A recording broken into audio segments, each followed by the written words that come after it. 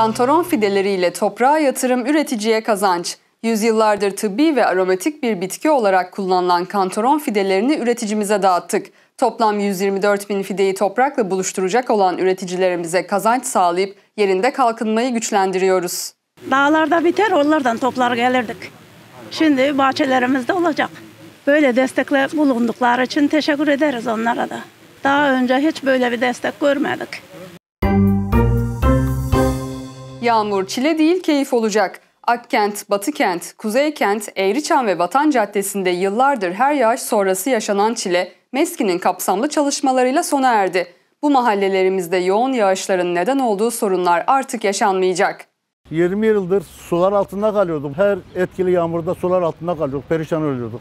Vahap Bey geldi. Bu hizmeti bize yaptı. Defalarca teşekkür eder bizi bu ızdıraptan kurtardığından dolayı. Merkez yollarının konfor standardında kırsal yolları. Yol yapım çalışmalarımızı merkez ve kırsalda aynı konfor standardını gözeterek gerçekleştirmeye devam ediyoruz.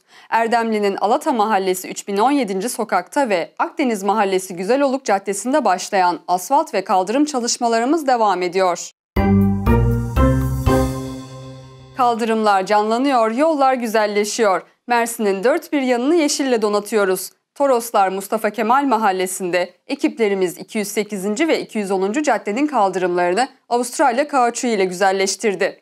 İsmine yakışır bir mahalle oldu. Vahap Başkan zamanında hem kaldırımı hem asfaltı yapıldı. Şu anda bizim mahallemiz çok Mersin'in en güzel mahallesi oldu yani.